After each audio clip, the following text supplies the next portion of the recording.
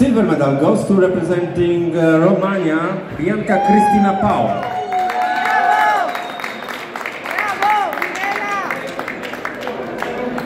And gold medal goes to Ireland, Annette Quaid. Bravo Bianca! Bravo Bianca.